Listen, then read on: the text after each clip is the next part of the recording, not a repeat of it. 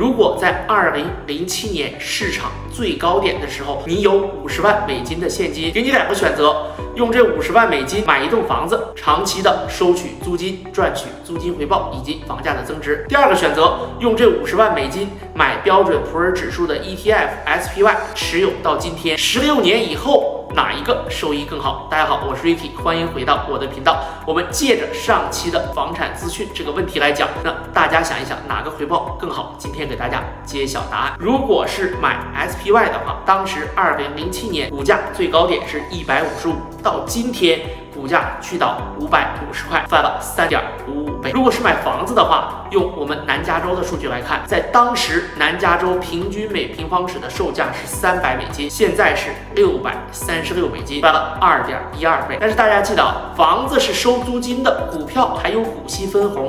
那我们把租金和股息分红算到一起，我们看一下结果有没有什么不一样。如果算上股息，那我们平均这十六年。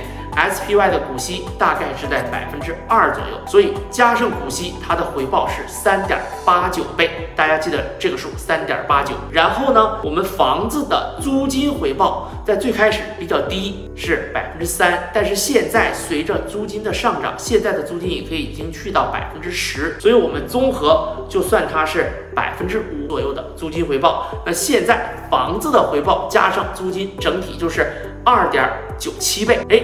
表面上我们看起来说房子的回报要比股票大概少了不到一个百分点，但是大家有没有想过，在过去二十年的时间里面？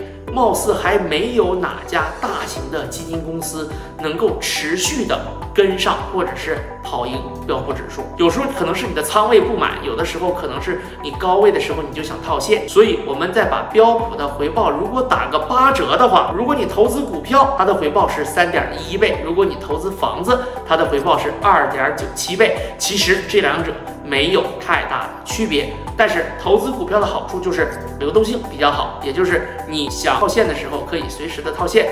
房子呢，流动性比较差，你要卖房子呢是需要时间和成本的。但是反过来说，股票就是因为流动性好，有的时候你手欠不该卖的时候就把它卖掉了。但是房子嘛，买在那里你就长期的持有不动，收取租金。而到了今天这个时间点。我们再看一个非常有意思的事情，如果到今天还是以你五十万的投资资本作为基数的话，现在 SPY 的股息回报是百分之四点四，对比你当初投入的五十万，而房产的租金回报是百分之十，对比你当初投入的五十万，也就是从这个时间点以后，每年仅仅是房子的租金。就要比 SPY 的股息至少多出来五个百分点以上的回报。如果这二者的涨幅几乎保持一致的话，那么在越往后的时间里面，投资房地产其实是越划算的。